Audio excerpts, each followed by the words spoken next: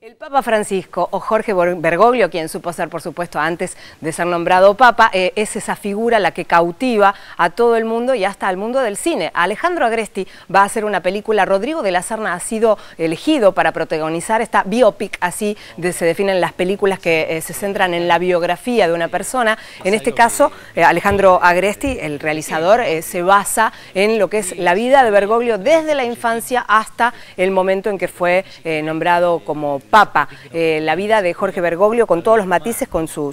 lucha en cada una de las acciones para conquistar y, tener gente que se acerque a la iglesia desde el lado del amor, por supuesto. Eh, Rodrigo de la Serna ha sido el personaje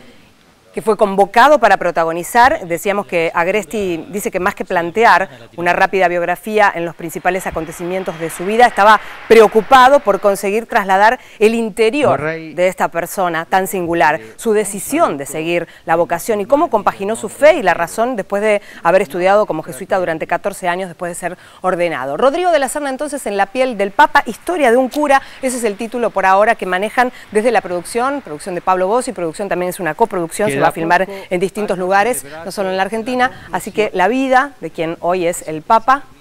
en la piel de Rodrigo de la Serna en una película de Agresti.